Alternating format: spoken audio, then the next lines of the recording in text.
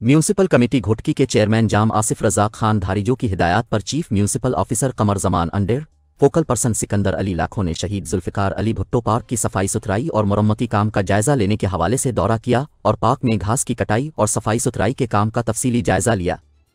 Park में कायम झूलों की मरम्मत और पार्क की लाइटों को फौरी फ़ाल करने की हिदायत की। इस मौके chief municipal officer Qamar Zaman Unar ने कहा कि अवामी मसाई को तरजीह बुनियादों पर फौरी हल करना मेरी अव्वलीन तरजीहत में शामिल है। घोटकी शहर को मॉडल सिटी बनाने के लिए हर मुमकिन कोशिशें कर रहे हैं। शहरियों के लिए मेरे दरवाजे हर वक्त खिले हैं।